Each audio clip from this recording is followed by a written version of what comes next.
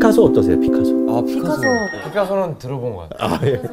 아까 우리가 얘기했던 미켈란젤로나 레오나르도 다빈치가 누렸던 그 엄청난 그 화가로서의 어떤 명예를 누른 그런 작가라고 할 수가 있는데요. 살면서 누렸던. 예.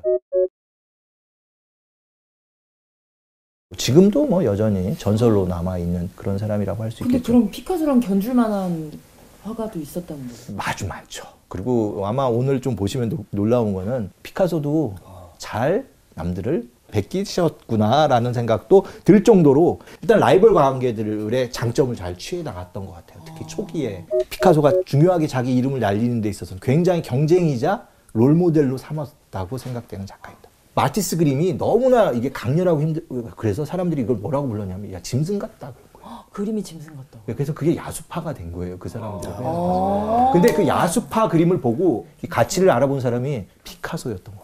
진정한 그림을 본 거죠. 이게 보시면 이게 보통 여성 누드가 이 당시에 그려지면 굉장히 조각 같고 아름답게 이제 다듬어져 있는데요. 마티스의 블루 누드라는 그림이에요. 사실 이게 인간의 어떻게 보면 피부라고 볼 수 없이 굉장히 다양한 색채들이 들어가서 강렬하게 어떻게 원시적인 생명력을 다시 가져온다고 생각해서 그렸는데요. 이 당시에 그릴 때 피카소 그림이 이런 그림이었어요. 요 정도 그림을 그리다가 이 그림을 본 다음에 피카소가 그림이 바뀐 게 바로 아. 안 되겠다. 저 마티스보다 좀 더 세게 가자 한 거라고 보는 게 바로 아비뇽의 천원들이라고 볼 수가 있습니다. 확 바뀌네 진짜 피카소. 네. 아예 코가 이제 빗자루로 변했네요. 네. 네, 정말 추상 미술의 단계로 좀 완전히 해석되는 아예 거고 추상미술. 네, 강해죠. 화가들이나 모든 분들은 나의 그림은 나의 세계라고 얘기하지만요. 보통 이론가들은 화가는 화가한테서 태어난다고 얘기합니다. 그러니까 좋은 화가를 롤 모델로 잡으면 그림이 금방 좋아질 수도 있는 거예요. 근데 문제는 그걸 뛰어넘어야 되는 거에 대한 또한 번에 어떻게 보면 자기 노력이 있어야 되는 것인데 베끼는 것 자체는 부끄러운 건 아닌 것 같아요. 교육의 원천이고 시작이기 때문에 진짜 뭔가 독창성으로 이렇게 앞서가는 사람들은 다 대부분 인정 못 받았던 것 같아요. 누군가를 그걸 흡수해가지고 뭔가 하면 잘 되고.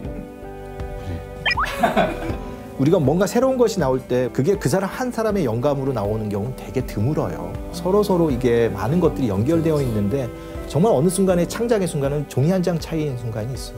결국 먼저는 그렇게 중요하지 않고요. 오래 하는 게 중요하다는 생각도 들어요. 누가 더 이것들을 가지고 끝까지 해 나가느냐가 역사적인 판단에 있어서는 조금 더 다르기도 해요. 그게 진짜 중요한 것 같아요. 피카소의 전설은 이렇게 시작했던 거예요. 몰 피카소. 자식 나면 피카소라고 이름 줘야지. 어?